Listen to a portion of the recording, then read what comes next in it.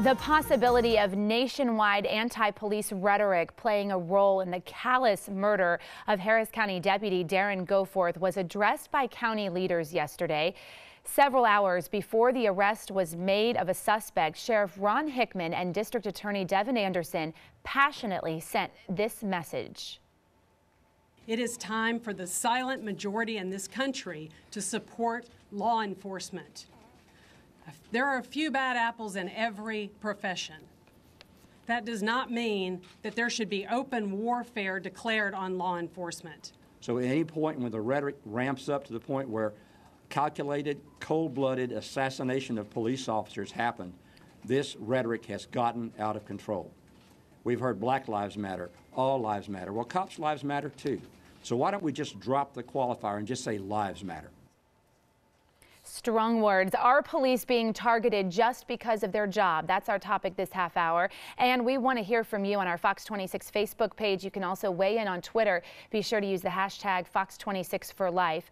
Joining us live in the newsroom is our roundup panel led by our Fox 26 senior legal analyst Chris Tritico, our news analyst Mustafa Tameez, and public policy analyst Jacquie Baly. Good morning again. Good morning. Good morning. What do you all think about the comments made yesterday by our sheriff and DA? I, I couldn't agree more, and I think Devon Anderson really, really really put it well that uh, while there may be a few bad apples, that does not mean that anyone has the right to attack someone like Deputy Goforth.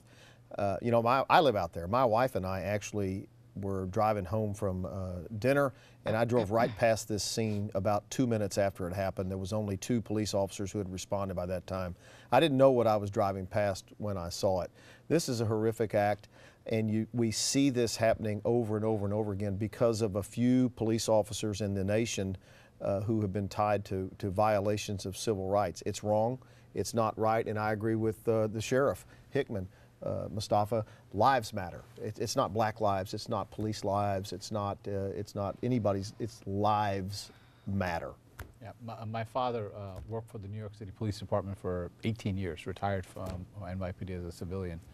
Uh, so we grew up in a household that anytime we saw violence against police officers, you know, we, not just mourn with the family, but with an understanding that, um, you know, we have this kind of uh, compact in our society that we all follow the law. And when the law enforcement's being targeted, then all of a sudden the, the order that exists amongst us, the compact that exists amongst us, doesn't work. And so this is incredibly troubling to see this happen so quickly, three across the, the, the Gulf Coast. And, um, you know, I think we all need to come together and start moving beyond this as soon as we can. Jackie? I said when we discussed Ferguson a while back, whenever uh, the law, top law enforcement officer at the time, Eric Holder, went into that community and said, hey, as a black man, I don't trust cops either. And he was the top law enforcement officer in the country at that time. I said that was irresponsible in his statements. That was an irresponsible statement. And that had, was the beginning of a lot of movement that we've seen. There's been a mention of Black Lives Matter. And that movement was about it's us versus them. Unfortunately, I've, I've often said having a warfare, open warfare on law enforcement officers is not the way to go to try to ease racial tension and race relations. As a mother raising two young black men, I've always told them treat law enforcement officers like you do your teachers, like you do your ministers, treat them with respect.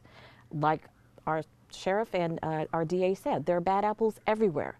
But to say it's us versus them, like Eric Holder did, and like a lot of messages that we've seen coming from a lot of the people who are, are inciting a lot of or, or baiting a lot of us versus them that is not the way to handle race relations. But you agree with me that Black Lives Matter did not start out as an us versus them. It just started out as promoting that black lives truly do matter, didn't it? Black li- well, as a black woman, I definitely think black lives matter. But the movement ever since Ferguson the movement ever since Ferguson and uh, black cops and white cops agree with this.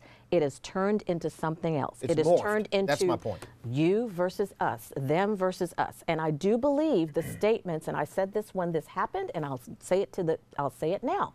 When Eric Holder went in that community right. and said, Hey, as a black man, I don't trust cops either, that was the wrong message to say. I want you to respond to that in just a second. I got to go to social media. Uh, Sally's monitoring it right now. Okay, taking a look at Twitter, Tex Barb says this is tragic. Police being executed on the streets. Can't imagine anyone wanting to be a police officer right now in this country. And this person says thoughts and prayers go out to the family of Deputy Goforth. May God shine perpetual light upon him. Should President Obama come out and speak about this death as he has in the killings of unarmed citizens? I think he absolutely should. You know, one of the one of the knocks the president has received is he is he picks and chooses the tragedies he's going to talk about, and this is a tragedy, and I think he should come out and I think he should say something about it. I want you to respond to this Eric Holder thing. Did Eric Holder start this? Look, I, I think that the reason why we have a hard time coming together on especially things like this, which there's no reason for us not to, is that we politicize these conversations. You know, when a when a deputy, when a law enforcement officer is brutally assassinated, you know, killed like this, if you take the politics out of it, it makes it easier for the community to come together and work things out. When you keep injecting political rhetoric, you know, and important things in our life, uh, important things that face our communities, important issues that we all have to come together and solve, we don't really move the ball forward. And I think that that's, that, that's my challenge that, that I see going forward. So moving forward, how do we change the culture uh, this thought that it's it's it's blacks versus cops, blacks versus whites, whatever, however you look at it. How do we start changing that culture?